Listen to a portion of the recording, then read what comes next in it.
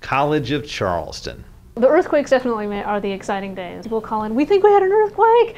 And like, click, click, click. Yes, you did have an earthquake. And then we call the USGS and say, hey guys, we had an earthquake. Like, no, yeah, we did, check. And they're like, oh wow, you had an earthquake. In the last couple months, we've been the first ones to find the earthquake on the seismometers. We now have uh, a dedicated hazards lab. We've got some seismometers we're going to put out this summer.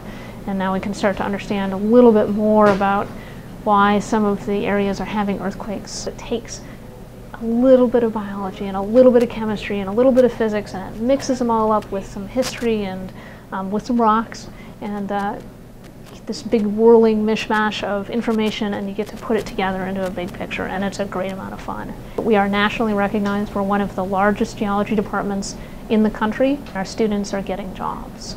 They are employable in the environmental field, the oil field, the government field, the NGOs. Um, we have a lot of them that go to NOAA. We have some of them that go to the military.